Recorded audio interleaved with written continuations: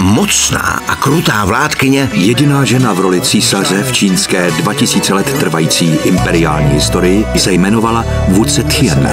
ale také panovnice, V té době mohla žena dělat vše, co dělal muž.